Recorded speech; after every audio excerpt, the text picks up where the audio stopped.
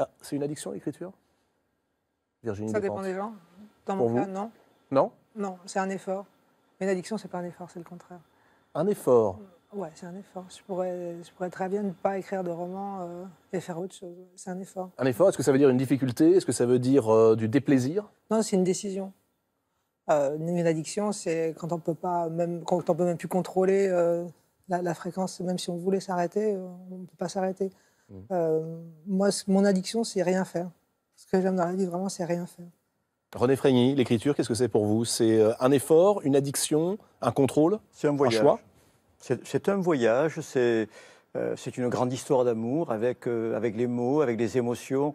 Euh, comme si dans la vie, on, on recevait, on, on reçoit un chaos d'émotions. Et l'écriture, c'est l'organisation de ce chaos d'émotions. Mais est-ce que vous pourriez vous en passer?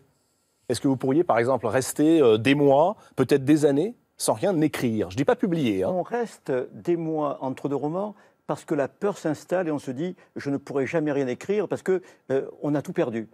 Et c'est là que la peur s'installe, l'inquiétude, ce sentiment d'être euh, loin de tout et petit à petit l'appétit revient. Mais c'est comme euh, manger ou faire l'amour. C'est pour ça que je dis c'est faire l'amour avec les mots.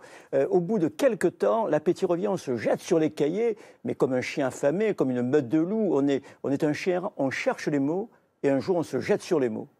Hugues Pagan, euh, ce qui vous a tenu loin de l'écriture, qu'est-ce que c'est? C'est euh, ce que disait tout à l'heure euh, René Frégny Une peur? Vous avez fait un distinguo extrêmement subtil auquel j'adhère, c'est ne pas écrire ou ne pas paraître, ne pas publier. Je n'ai jamais cessé d'écrire.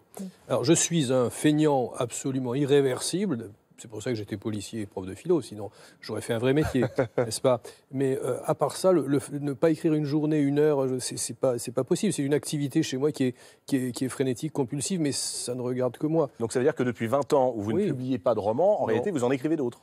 J'écris pas forcément du roman, mais j'écris, oui, je ne peux pas imaginer une journée sans écrire, bien que je sois un feignant considérable et parfait.